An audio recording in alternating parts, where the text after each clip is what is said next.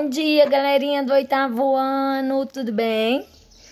Hoje tivemos uma boa participação, se eu não me engano foram sete ou oito alunos. Mas até então vou gravar um videozinho rapidinho falando sobre o que nós estudamos hoje. Mandei aí no grupo quem não veio, por gente, quem não participou da aula, por gentileza anotar no caderninho tudo aquilo. Hoje nós falamos sobre Capitalismo e Socialismo. A tia mandou um quadrozinho arrumadinho, explicando.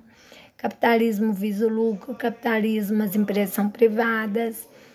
Já no capitalismo tem concorrência, tem como se alterar os valores. Já no socialismo, as empresas são estatais, todos ganham de igualdade. É, não existe essa concorrência, né? Tem que ser padronizado. Coloquei também a questão do mundo bipolar, que foi logo após a Segunda Guerra Mundial. Estados Unidos e União Soviética disputavam o poder mundial.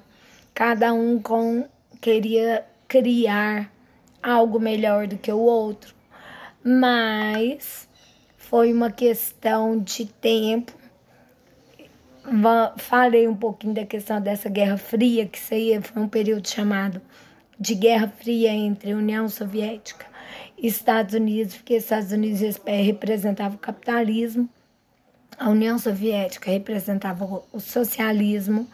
Não aprofundamos, porque se você olhar o seu livrinho, vai ter logo à frente.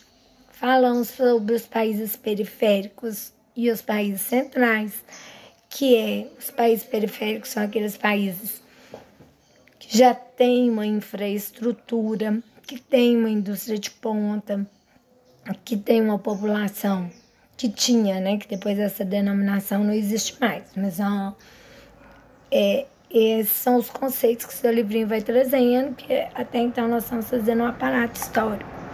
E os países periféricos já são aqueles que têm baixas condições ainda, ainda a indústria ainda está, digamos assim, gatinhando, Há uma população que ainda sofre, que não tem uma boa, que ainda sofria, né?